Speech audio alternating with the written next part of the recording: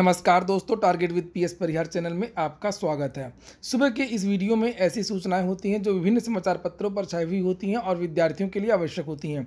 तो आइए शुरू करते हैं और देख लेते हैं कि आज के समाचार पत्रों में ऐसी कौन कौन सी सूचनाएँ हैं।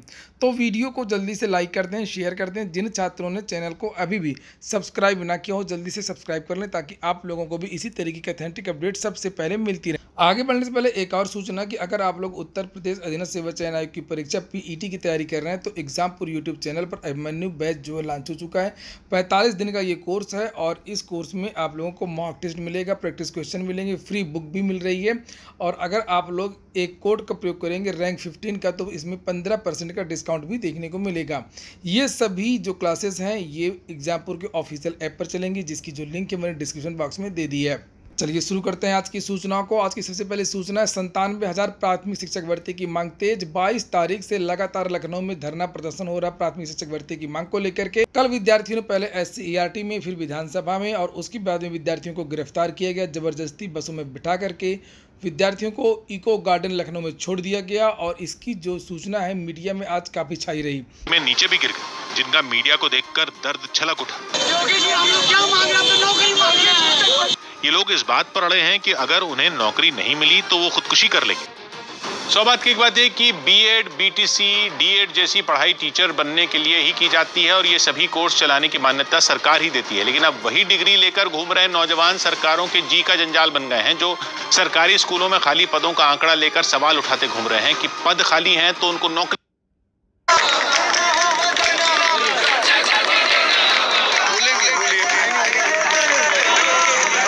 फ़िलहाल सरकार की तरफ़ से तो कोई बयान नहीं आया है। नई प्राथमिक शिक्षक भर्ती की मांग को लेकर के और सरकार ने उल्टे आंकड़े पेश किया है कि हमने कितनी भर्तियाँ की हैं, कितनी नियुक्तियाँ की हैं, यहाँ पर आप लोग देख सकते हैं। विद्यार्थियों का यहाँ पर आरोप है, देखिए, लिखा हुआ है कि ओबीसी कोटे की अठारह सीट में से मात्र दो हज़ार छः सौ सैंतीस सीटें दी गई हैं।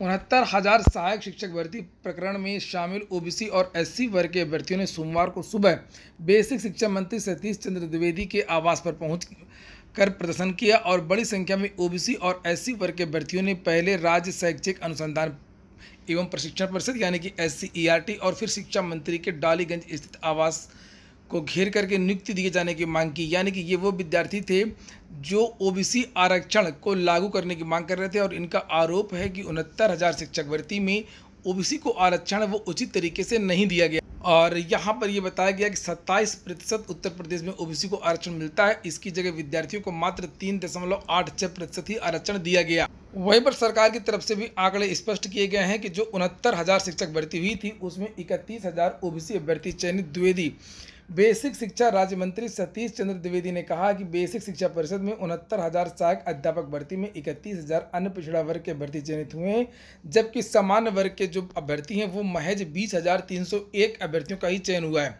उन्होंने कहा कि ओबीसी वर्ग के अभ्यर्थियों को नियमानुसार आरक्षण नहीं देने का जो आरोप वो पूरी तरीके से बेबुनियाद है। द्विवेदी ने सोमवार को निषादगंज स्थित शिक्षा विभाग के कार्यालय में मीडिया से कहा कि उनहत्तर हज़ार सहायक अध्यापक भर्ती में सामान्य वर्ग की चौंतीस हज़ार पाँच सौ नवासी सीटें थी, जबकि सामान्य वर्ग के मैच बीस हज़ार तीन सौ एक अभ्यर्थी चयनित हुए हैं।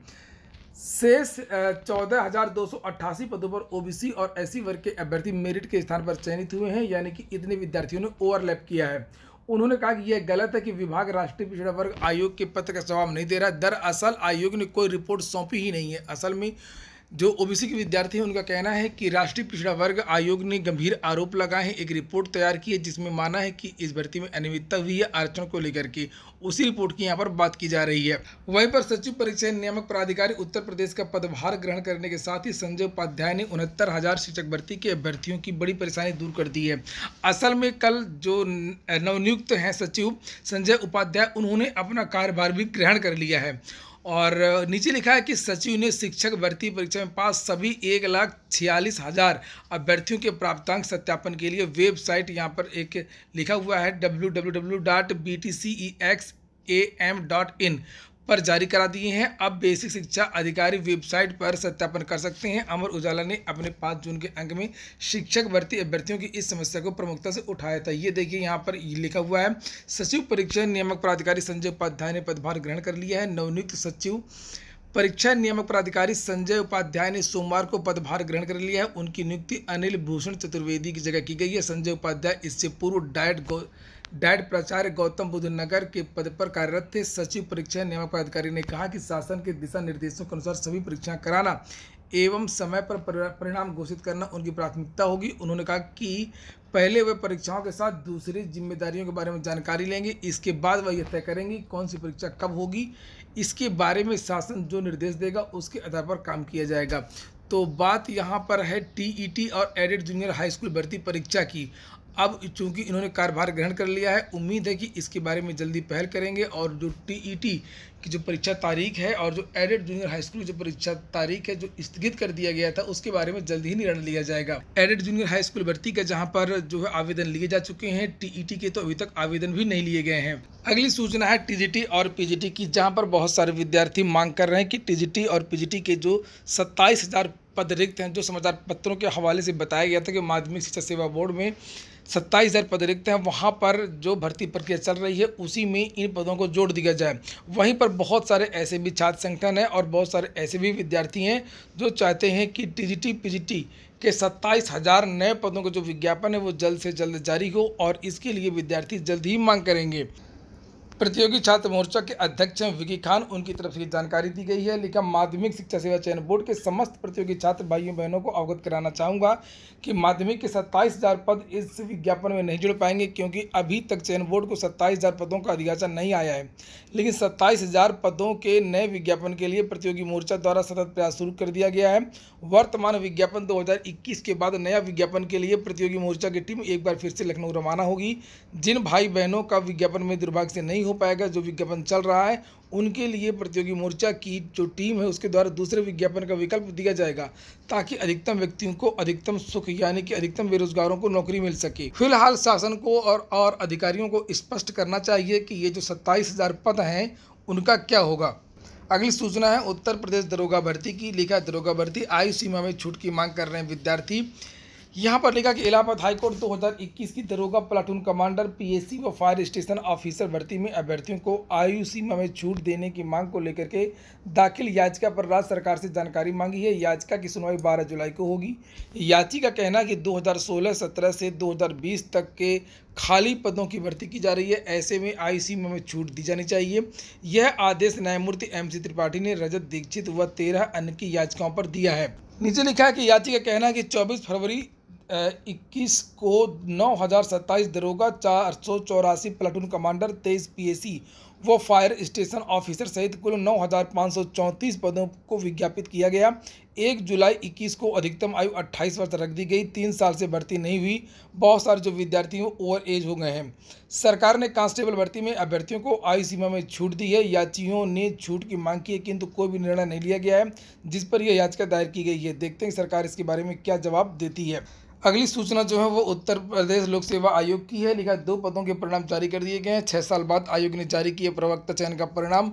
राजकीय मेडिकल कॉलेजों के ट्रामा सेंटर में आचार पद के लिए नहीं मिले हैं। योग्य अभ्यर्थी सीट खाली चली गई हैं।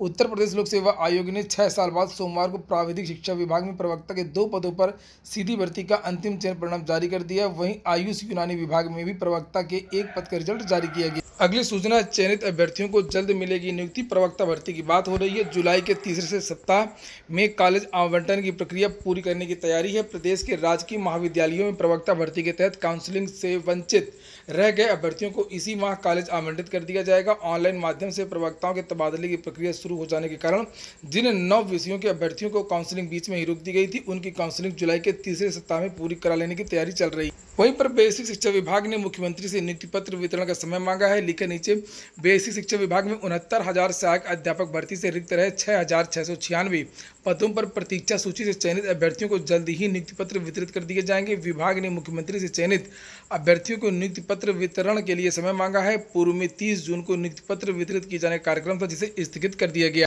इसके बाद में एडेड जूनियर हाई स्कूल भर्ती का एक मामला है, जो हाईकोर्ट में जिसकी आज सुनवाई होनी है, पचास प्रतिशत को लेकर के ये मामला है। ग्रेजुएशन में पचास प्रतिशत की बात रख दी गई है, जबकि एनसीटी ने इसकी निमरता को हटा दिया गया है।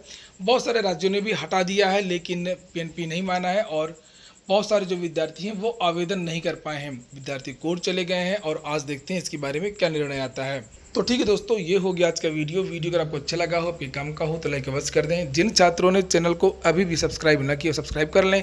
पूरा वीडियो सुनने के लिए बहुत बहुत धन्यवाद।